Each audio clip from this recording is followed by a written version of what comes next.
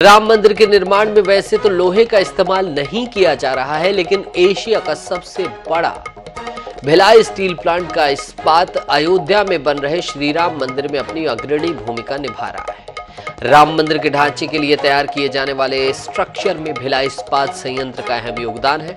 छत्तीसगढ़ अपने भांजे के लिए बनने वाले विशाल मंदिर के लिए हज़ारों टन लोहा सप्लाई कर चुका है।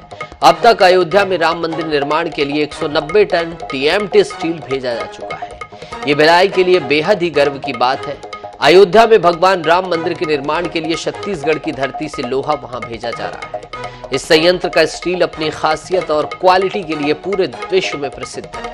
इस परियोजना के लिए टीएमटी बार का उत्पादन प्लांट के आधुनिक बार एंड रॉड मिल और मार्चेंट मिल दोनों में किया गया है।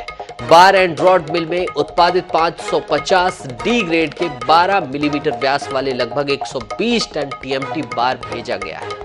वहीं मर्चेंट मिल में उत्पादित सामान ग्रेड वाले 32 मिलीमीटर व्यास वाले लगभग पैंसठ टन टीएमटी बार को अयोध्या भेजा गया है। इस टीएमटी बार की खासियत यह है कि यह भूकंप रोधी भी है।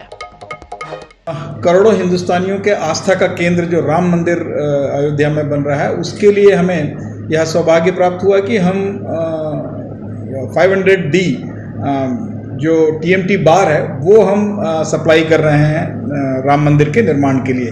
तो भिलाई का इस्पात जो है, राम मंदिर को भी एक मजबूती देगा देश के साथ साथ और सबसे बड़ी बात है कि जो हमारा आधुनिकतम मिल है, जो बार एंड रॉड मिल और दूसरा जो हमारा मर्चेंट मिल है, यहाँ से हम इनको बार की सप्लाई कर रहे हैं।